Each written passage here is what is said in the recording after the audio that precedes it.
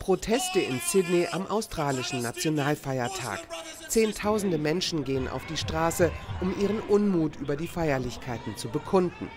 Der Australia Day erinnert jedes Jahr am 26. Januar an die Ankunft der europäischen Siedler in Australien im Jahr 1788. Anlässlich des Tages gibt es in Australien immer wieder Proteste und Diskussionen um die Verbrechen der britischen Kolonialherrschaft an der indigenen Bevölkerung. Wir Indigenen wollen diesen Trauertag nicht. Wir wollen nach unseren Vorstellungen und in unserer Kultur trauern. Wir brauchen nicht den Rest Australiens, der einen Tag feiert, der uns so viel Trauma zufügt. Die ständige Unterdrückung geht weiter.